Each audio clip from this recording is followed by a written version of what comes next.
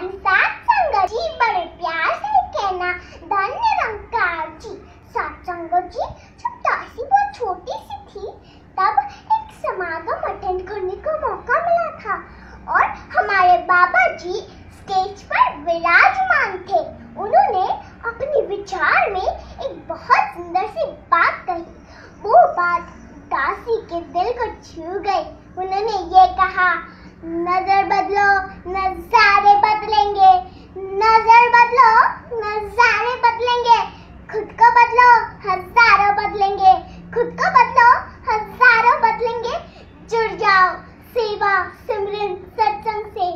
जुड़ जाओ सेवा सिमरन सत्संग से।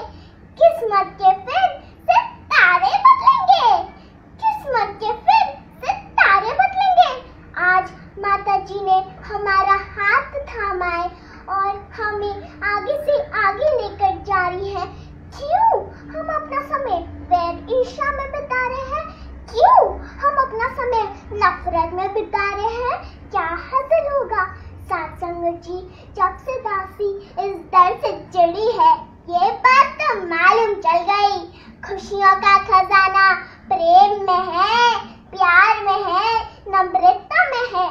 सात सत्संग जी, आपने दासी